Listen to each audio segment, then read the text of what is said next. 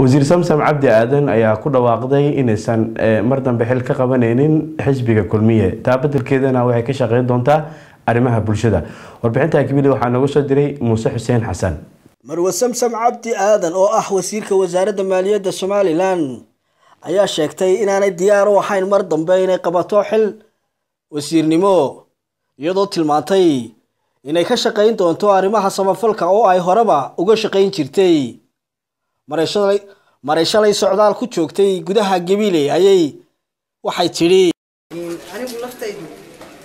laba bilood baa hadhay laakiinse weligay samafal baan ka shaqayn jiray. Koob iyo sagaashankii ilaa maanta samafal baan ka shaqaynayay haddaan wasiirnimada waan waan waan ka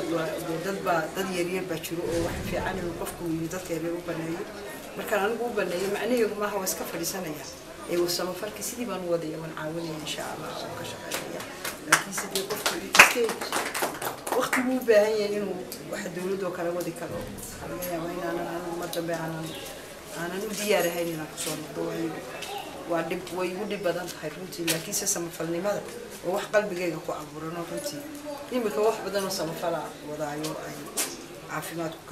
meelo gaara kagala shaqeeyo tii weligay ma joojinaya insha allah intaan caafimaadka haysto insha allah wadi kala shaqeynaya hadday gabili noqoto iyo hadday meel kale noqoto. Laakiinse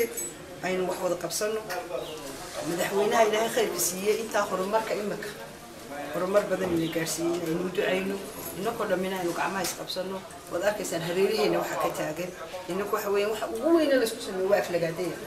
intaasuna waxa weeyaan waa kursiga waxa weeyaan dadkeena markay frustrated noqdaan marka qofka war waxna ma hubsano loo sheegaa marka taas waxay ka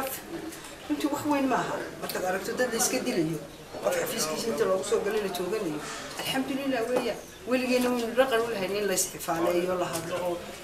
maaha inay niyadjab qofna ku rido. Waxa weeyaan waddankeena baynu joognaa nabad baynu haysanaa dad iswada yaqaanaynu nahay dad ehelaynu nahay dad wax wada qabsan karaynu nahay dad isku damqadaynu nahay. Marka runtii waa tii aanu cawskii laga qaaday gobolkan gabile ilaa laascanood baan anoo jooga la igu keenay marka waxaynu nahay dad ummad sidaa yaroo iskaashata ilaahayna saasuu inoogu naxariisanaya oo inagoo aan layna ixtiraafin oo aanay cidina adduunka wuxuu hela aynaan helin ayaynu maanta mushaharkeena qofka ugu dambeeya bisha shanteedu qaata ilaahay waa nimcooyinka ilaahayna siiya adhigeeniyo la joojiyey baan haddana waxyaalo badan iska kee taagay oo xagga ilaahay meel kale inoo furay oo ay imika aad arkaysaa